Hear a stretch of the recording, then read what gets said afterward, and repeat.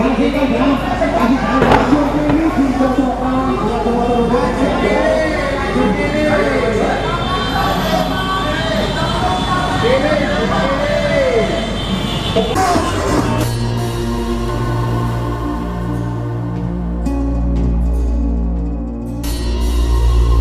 Bandung be ramainya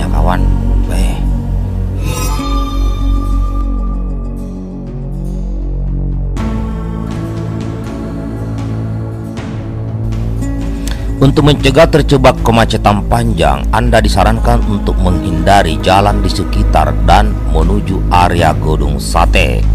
Ruas jalan yang perlu dihindari sementara antara lain Jalan Dokter Junjunan atau flyover Pasupati, Jalan Laswi, Jalan Cicadas, Jalan Diponegoro ditutup sementara, Jalan Surapati, dan Jalan Supratman.